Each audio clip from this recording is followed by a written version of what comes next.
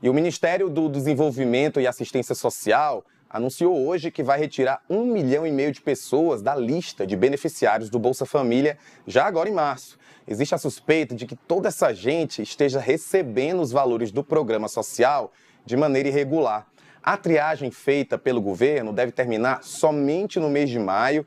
A estimativa é de que sejam cancelados 2 milhões e meio de repasses no total. Ao mesmo tempo, novos beneficiários que cumprem os requisitos e não estavam na lista devem ser incluídos no programa.